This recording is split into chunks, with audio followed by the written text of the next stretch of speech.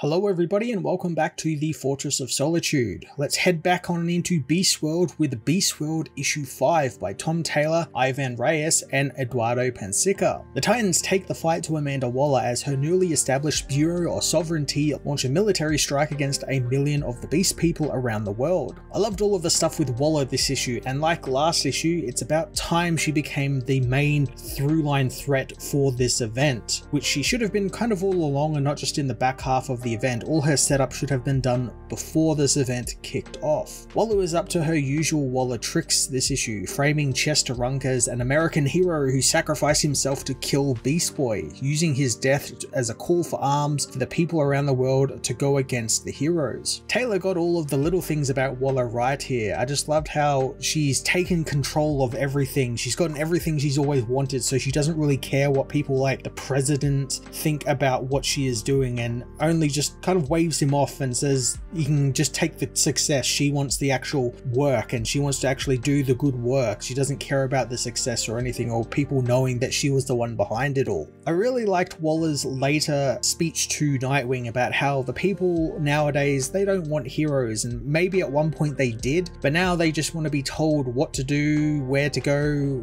who to like, and who should be in charge. I think there is something very real in that way of thinking as something very real and something that we see in the real world as well. And I like that that's being brought to Waller here and kind of standing behind her reasoning for wanting to get rid of the heroes because they are just a waste and people shouldn't be trusting these people who hide their identities and hide in colorful costumes and think that they can make the world a better place when really all they're doing is making it worse with each new crisis or new big event. And I actually really like that there is some sort of reasoning behind why she's doing all of this and you can you can see the reasoning. You can also kind of agree with it to an extent and i really like what waller has been up to in the back pages of this book and i just wish we had more of it. I just wish we had gotten to see more of it and it wasn't just relegated to backups or the back pages of Knight Terrors and all the stuff in the background. I, I wish we had gotten more of it in the lead up to this event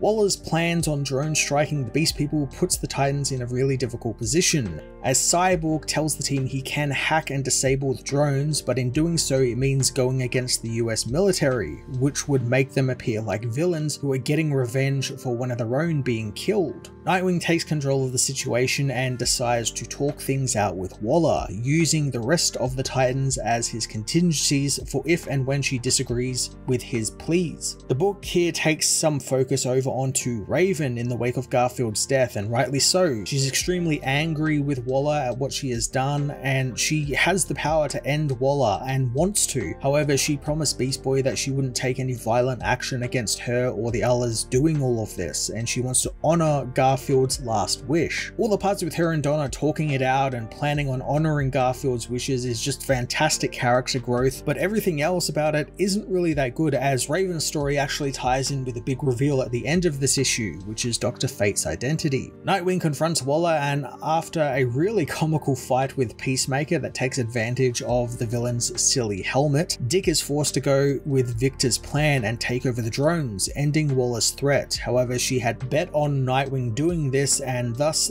the entire world is now against the Titans and the heroes. Waller's new partner in crime, Dr. Hate turns up and after some kind of janky dialogue about control and chaos, it's actually revealed that they are the demonic aspect of Raven, who has somehow gotten out of the gem Raven has in her forehead and become a physical entity, taking on the Helm of Hate as well as the Nightmare Stone and working with Waller. I said in my last review, whoever Hate ends up being will be a letdown, and I was right. This is a real letdown, and it's not so much that it didn't make sense since I can see what Taylor is doing. This is Raven's bottled up hate sort of being manifested in this physical entity that she has to combat and overcome. I think that's quite interesting. It's just that there was no actual build up to that. Dr. Hate it itself as a character had no real build up, just kind of appeared at the end of the Knight Terrors when they got the Helm of Hate, put it on, and they just appeared, and then they just appeared every now and then up until this event started. But there was no actual character building with that character. They just kept saying the same things over again about how when the Titans find out who they are, they're going to be really surprised and they're really not. That's surprised at all. The same can be said about Raven's side of things. There was no hint that she could feel that something was off or missing about her or her gem or anything. There was none of that build up that was needed. Makes me wonder if maybe the Dr. Hate identity was someone else altogether and was changed pretty late on in development, or at least it was meant to be revealed a lot sooner than it actually was. Maybe they were meant to start the event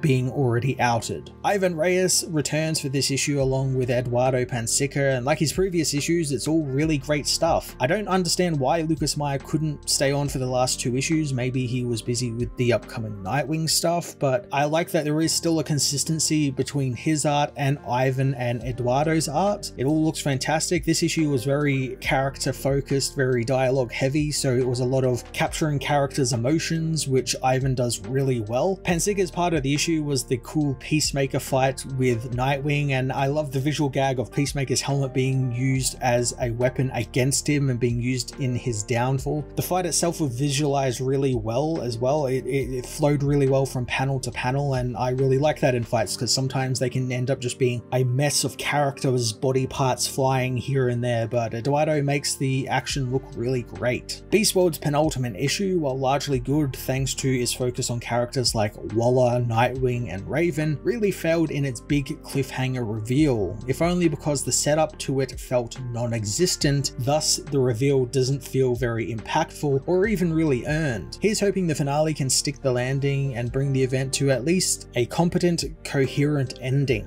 I'm going to give this issue a 7 out of 10.